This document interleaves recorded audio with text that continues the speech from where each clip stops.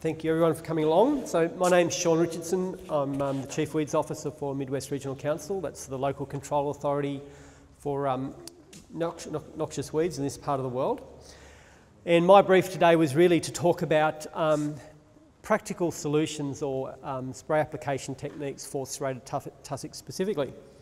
So my background is I've worked in the agricultural industry for about 20 years, worked um, for a couple of fairly large major corporate companies like Syngenta and Nufarm. We used to do a lot of this spray application work um, in horticulture and broadacre for many different applications. This is slightly different, this one, when it comes to specifically one weed. But um, I'm going to go through some of the, the techniques that I've observed, certainly some of the, the stuff that um, uh, anecdotally we've seen when it comes to inspections of properties with noxious weeds, um, some of the the best practice and certainly some of the things that we've observed that we could avoid, and then just go through some of the practicalities of spraying. Before we start, one of the things that's really important is um, identification. So one of the, the things that we see very often when we go out to do property inspections is that um, there are a lot of dead plants, um, not all of them tussock, which is uh, unfortunate because later on when um, some of these uh, eminent speakers from the DPI go through their stuff. We'll talk about competition uh, and we'll talk about uh, the importance of having competition in a pasture sward. Hopefully, Warwick. Yep, that's good. So, uh, any ideas? We've got some tussock and we've got some other plants here. Who can, um, who can call out the tussock? What would you be spraying if you're um, faced with this uh, scenario of six plants here? We've got two that are putting all their cards down that way. What about this fella here uh, in the... I'm sure about that one. No. It's got some long things. We've got the botanist on the job, Christine McRae, everyone, if you haven't met Christine before. So we've got three pots so far that um, people are calling out. And we believe that this one's Poa tussock. What leads you to believe that? You don't know? It's got long seed head stalks yeah, the seed head. That's a great way of being able to tell. So the seed head is a really good giveaway, and you'll notice that um, the tussock seed doesn't have any seed head at the moment. That's one of the reasons I've been able to cart it around the district today. Important. This, this stuff is mostly gone by now, like it doesn't retain its seed heads. No. Whereas this does. Does, that's exactly right.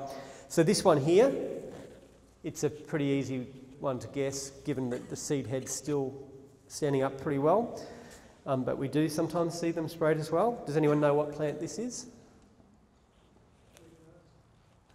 Uh, no, close. It's kangaroo grass, well done.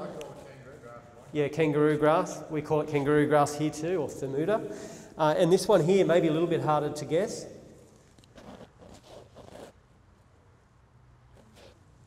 Any other bids? No.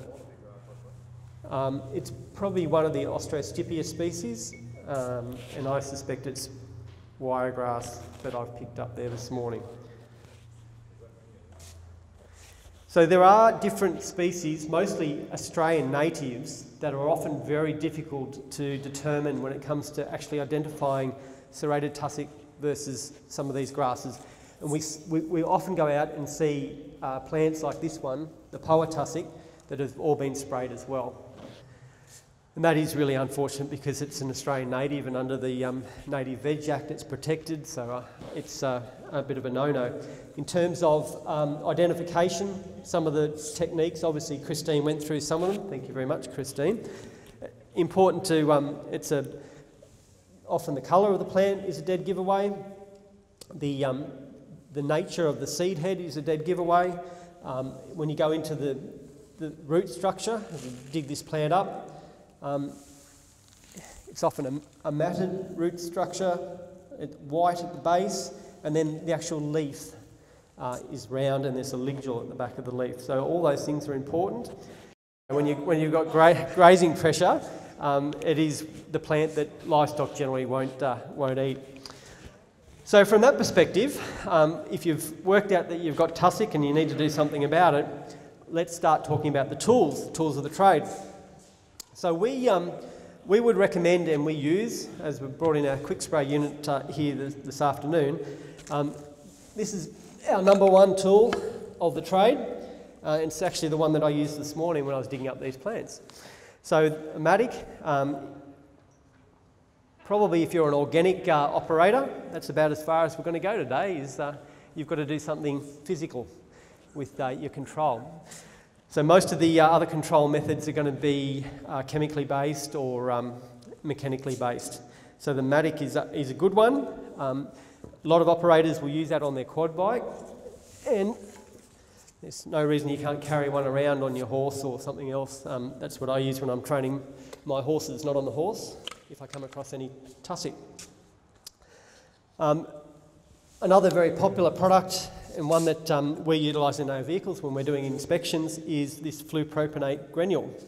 And one of the quizzes I think that Claire's asking is, what's the group of the, um, the group of chemistry that belongs to? You'll know that it's on all the labels. Um, quick, quick quiz. If this was a group J chemistry and it's a granule, what would something like Taskforce be? Yeah, probably would be the same. Well done. It's the group J2 because it's the same active, it's flupropanate. Now, the granule, in terms of um, utilisation, you don't need much. I think it's about 12 kilograms uh, recommended label rate per hectare. Um, what does that equate to when it comes to uh, a plant like this?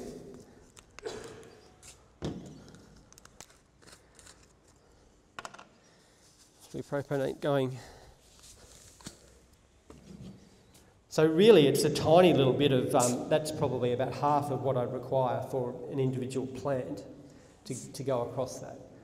Um, so how does, how, yeah, plant that size. Um, so if you think about some of these bigger plants, like this one down here, um, if I sprinkle that on there and happy days, job's done, weed officer's um, going to give me a clean bill of health. What needs to happen then? Rain. And why is this? Okay, so the, the mode of action or the way that flupropanate works is that most of it's taken up by um, the root system. Some, a little bit is taken up if it's a foliar application through the leaf, but most of it's through the root system and it'll need to, to be washed into the soil, be taken up by the root system, and then it'll translocate through the plant. So it can take um, three months, can take six months, can take quite a while to, um, to, to see the effect of the, the granule per se. Will it affect those little ones? It will, so it'll have a residual control, and that's one of the great benefits of flupropanate. So Tony Cook's going to be talking about um, some alternative modes of action, alternative chemistries, but really flupropanate is still our, our main armoury in, in the toolkit when it comes to serrated tussock, and it's why it's so important that we protect that um, particular group of chemistries to um, maintain control. Um, so moving on from there, um, we've found out that we've got a few more plants than just the, the, uh, the, the, three or the four that I've collected here this morning. We're going to have to do something a little bit more out of the box and just carry um, uh, half a kilogram of flupropanate granules around. The, the next thing that um, I would consider would be a backpack like this. And you can actually do an inordinate amount of, of spraying with a unit like this. It's amazing how much you can get done because you don't actually need a lot of chemistry to be able to control a plant.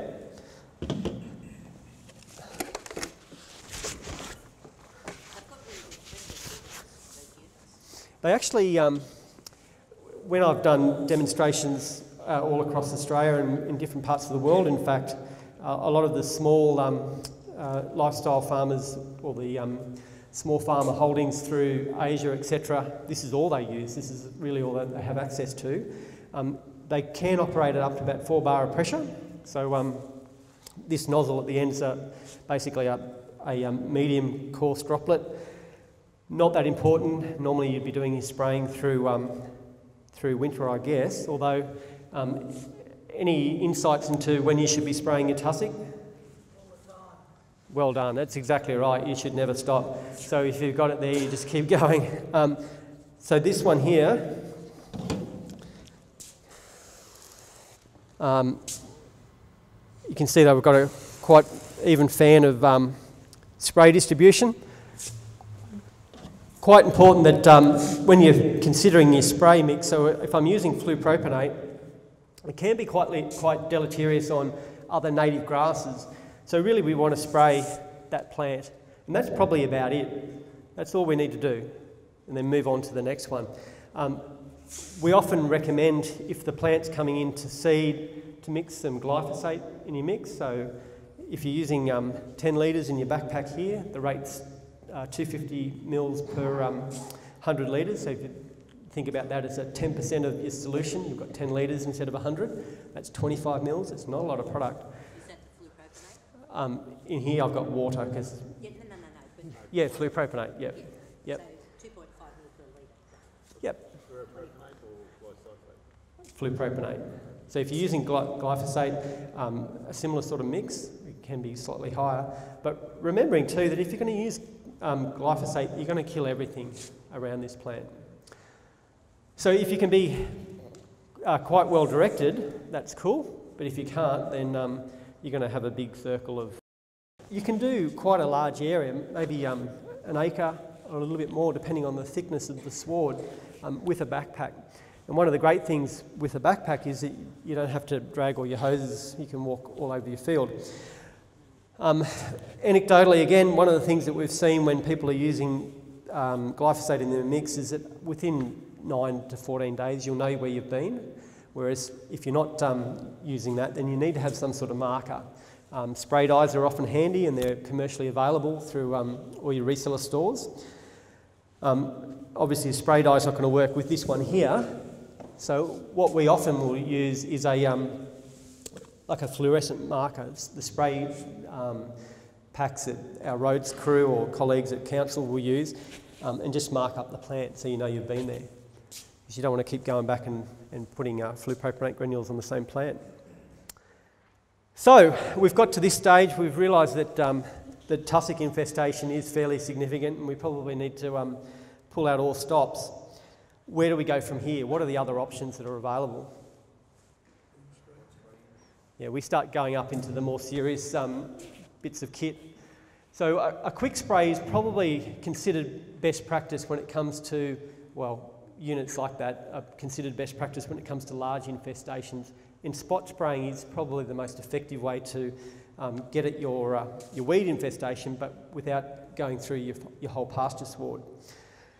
Um, sometimes it's not that practical. Sometimes you really need to think about um, broadacre type spraying scenarios.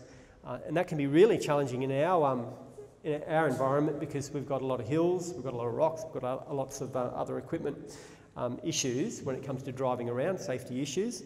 So, one of the things that um, we're considering, and I know Craig's sitting there, they utilise this sort of stuff, technology on their spray units over at Wellington, is a boomless spray. So, a boomless spray, we're going to fit that up to the back of our unit, um, and then we can spray like a boom um, without having the arms and other sorts of uh, paraphernalia hanging off the back of our vehicle that's going to get caught on a tree or a rock or something when we're going around um, some fairly challenging territory. If the territory is really challenging, what's the only other option? It's probably a helicopter. Yeah. So you, obviously you control the The sward bandwidth from inside the truck. with bar pressure on your spray unit. So you're talking about the bar pressure on the spray unit. Um, the bar pressure will help you with your the swath, swath of your spray um, width. They're not terribly exact science. So one of the things that you'll always find is if you're using a, a boom spray, you're going to get much more accuracy than if you're using one of these things. So you need to think about um, how you would come back and, and you often will see wind or other things that affect um, spraying will, will affect you more, more so with one of these sorts of items. Um, yes, so that's a good question. I'm not sure if um, everyone heard it, but can you overspray? Uh, it's, it's a really important point to remember that it does have a residual in the soil. So if you're using um, three litres per se of Taskforce flupropanate per hectare, you'll get a great residual, sure as eggs, but you won't get any growth come back. If we think about it as a group, why would you use a granule compared to um, carrying this around or spray unit? Yeah, so uh, that's exactly right. So the ease of use is a really good one. Um, another reason would be environmental. So if you're putting on with helicopter over trees, other sorts of things, it's going to be less deleterious to the, to the uh, natural environment, natural ecosystem. So there are a few reasons why you might consider one rather than the other.